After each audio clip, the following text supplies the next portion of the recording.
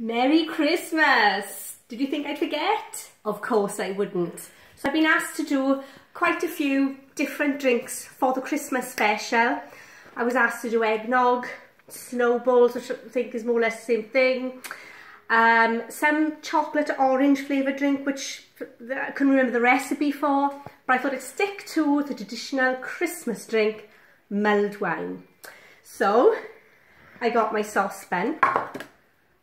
I've got my wine, cinnamon stick, and there's also some spices which I've put somewhere, I can't think of where they are. So, nice little festive glass, wine, saucepan to warm it up. I can't do it. Warm wine? What is that all about? No, no, no, no, no. Stick to what I know is best.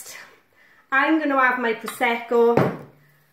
So are my cats. Happy Christmas. Enjoy. Mm.